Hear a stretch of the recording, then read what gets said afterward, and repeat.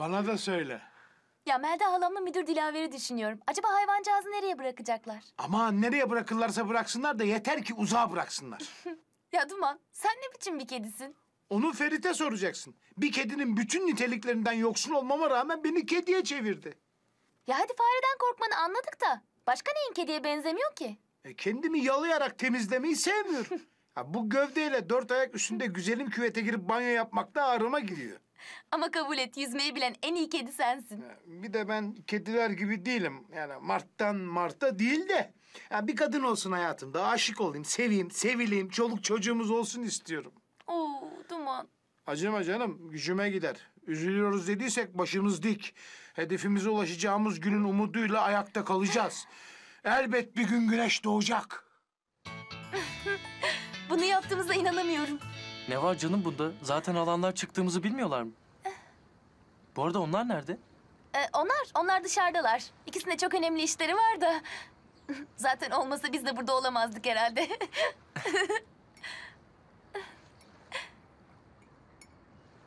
Biliyor musun? Gülünce çok güzel oluyorsun. Bir de en çok neyini beğeniyorum biliyor musun? Hani böyle utanınca yanakların alal oluyor ya. İşte o zaman seni çok öpmek istiyorum. yani şimdi burada. Ayşegül toparla kendini. Selim şimdi seni öpünce sakın heyecanlanma. Soğukkanlı olman lazım. Heyecanlanıp da saçma bir şeyler yapma. Ne de olsa Selim seni ilk kez gerçek anlamda öpmüş olacak. Bu anın bozulmasını istemiyorum.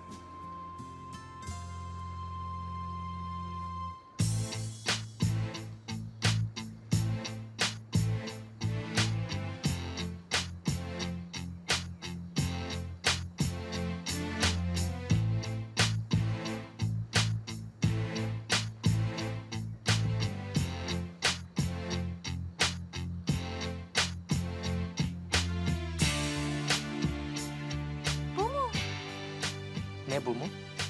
Ya yani şey e, utanınca yanakların alal oluyor demiştin ya. yani demek istediğim buydu değil mi? Hı hı. Evet. Anladım. Neyse bozuntuya vermemem lazım. Selim. Hı. Ben de senin en çok neyini beğeniyorum biliyor musun? Neyimi?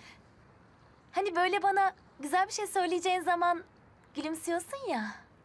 Nasıl yani? İşte böyle.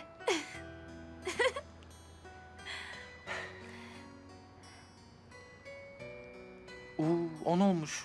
Ee, E ona kadar izin almıştın ya. ne onu? Ayşegül saat 10. Ha, evet, on. Doğru ya. Selim izin almadan geldiğimi anlarsa hakkımda yanlış şeyler düşünebilir. Ama ne yapayım? Evde izin alacak kimse yoktu. Ya bak, zamanın nasıl geçtiğini anlamamışım. Senin yanında. E yavaş yavaş kalkalım istersen ha. Seni eve bırakırım. Anca gideriz. Gidelim mi? Ne yapalım? Tamam.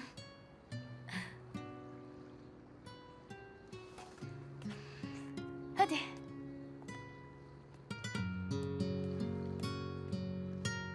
Hadi. Kanalımıza abone olarak tüm videolardan anında haberdar olabilirsiniz.